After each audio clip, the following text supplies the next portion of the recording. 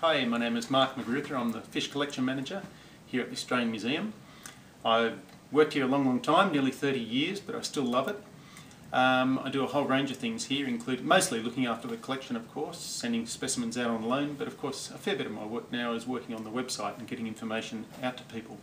And I get to see, as you can see from some of these, an incredible range of amazing different sorts of fishes. Can you tell me what is an anglerfish and whereabouts they live in general? Okay, well, an anglerfish, well, the first thing I should say is there's a couple of different sorts, broad categories. There's the deep water anglerfishes, such as these guys here, and the shallow water anglerfishes, which people are a lot more familiar with generally. They're all, without wanting to get technical, they're all in the order Lophiiformes. Generally, they have some sort of lure on their foreheads, on their heads. Um, the deep water ones, obviously, are found, as you'd expect, in deeper water. There are about 11 different families and about mm, 150 species roughly. Uh, and as I said, they're generally found in deeper water, something from a couple of hundred metres down to several thousand metres in depth.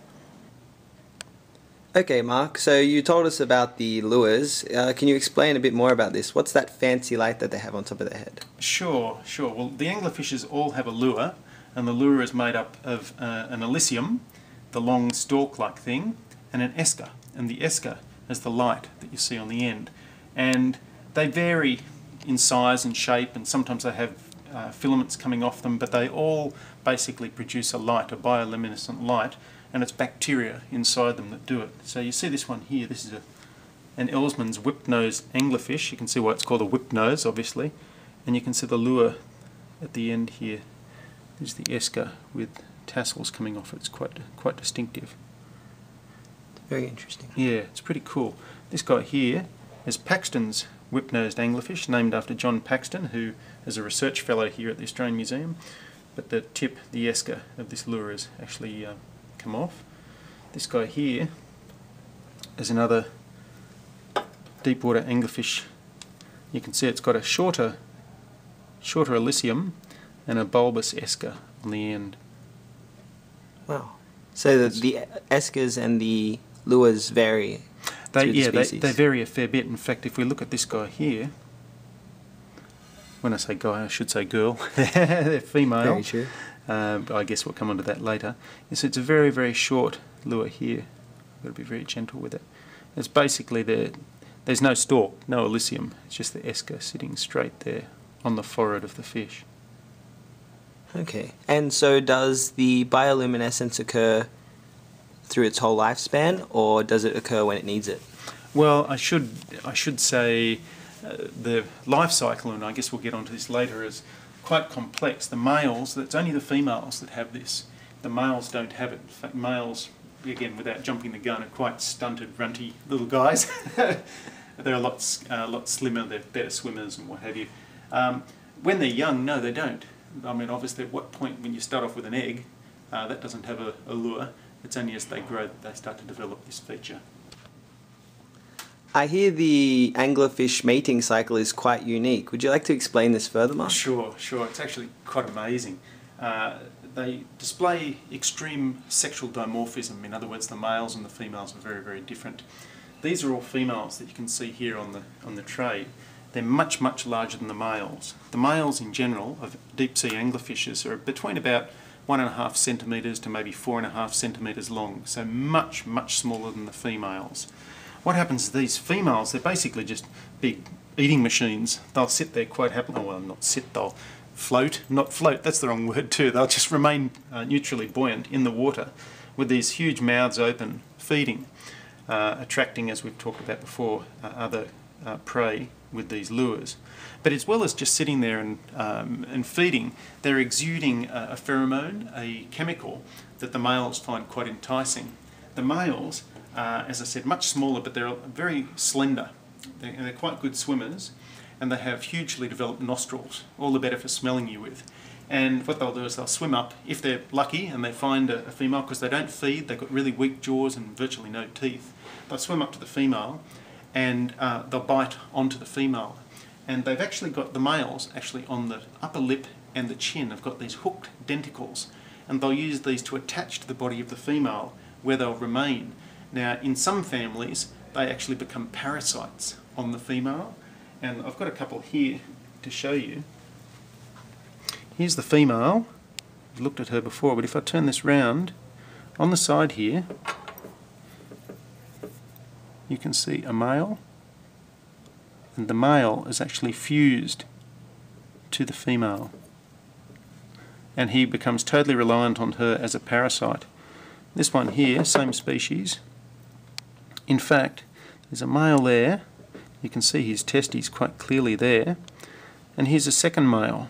So in some cases you can have two, three, or even more uh, males attached to a single female, which is, uh, as you say, quite an unusual sexual way of life.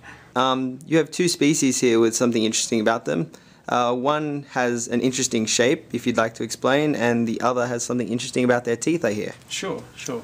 Well, this one here is Johnson's abyssal anglerfish, and as you can see, well, I may as well start with the teeth. This is the guy we'll talk about the teeth, but I may as well talk about these guys as well. You can see they're long, long fang-like teeth. The interesting thing about these is that they're a bit like road spikes. You know, you drive over road spikes one way and they go down, drive the other way and they stay up and you puncture your tyres. Well, that's what happens with these. The teeth of these guys, when they're alive, are depressible, which means that the animal, uh, the, the, this guy, this girl, will open her mouth, uh, attack whatever it is that they're feeding on, uh, which will go inside the mouth, and if it tries to get out, it can't because the teeth fold back up and lock into position. So basically, it's a one-way trap. You know, you go in there, you don't come out. And the anglerfishes are renowned for being able to take large meals. If you look at this, if I hold this and sort of just push this gently, I don't want to damage the fish, you can see this is actually something inside the stomach of this female anglerfish. Wow. It's another fish, probably head up this end, tail up here. It's a bit hard, a bit hard to tell. But you can see this, this fish has had a huge last meal. Okay, the other one, we'll get back to Paxton's whip-nosed anglerfish.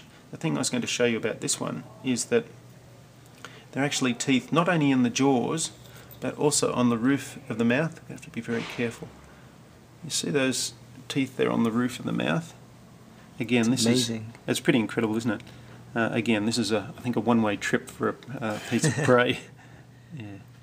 In fact, when we were on um, Tangaroa, a uh, research vessel, in 2003, one of these guys came up, and it was very, very interesting because uh, when it was still, it was still actually alive on the deck, and some of our colleagues happened to notice that the teeth inside the roof of the mouth appeared to be moving independently. So this fish is just lying there, and the teeth inside the mouth are moving. It was just quite bizarre. So maybe they have some sort of control over the roof of the mouth as I hear there's an interesting story about one of the species of anglerfish from a field trip in 1968. Can you explain? Indeed, yes, Agent One. There, certainly is. Uh, this fish here is an amazing-looking beast. Ceratias is its genus name. You can see it's got a huge, huge mouth, very floppy body, not much of a tail. So it's mostly stomach and mouth. Of course, at the top here, we've got the uh, the lure. Pretty And that's impressive. Tri- trilobe. Yeah, trilobed lure. Yep, and you can see a hell of a hell of a mouth. Anyway, this particular fish, or one very very like it, ended up biting off more than it could chew. You can see with a mouth like that, you uh, you obviously think you can eat a lot of food, and in fact, what happened is you can see the fish here. What we're looking at here, there's the trilobed lure. There's the fish itself, its teeth. It's got a rat tail stuck in its mouth, and these two fish were found dead, floating on the surface. Obviously, this horned two-rod angler has bitten off far more than it could chew, and the two of them died as a result. Not a good way to go. Eyes bigger than its stomach. Eyes bigger than its stomach, indeed. Yeah. Okay, thanks, Mark.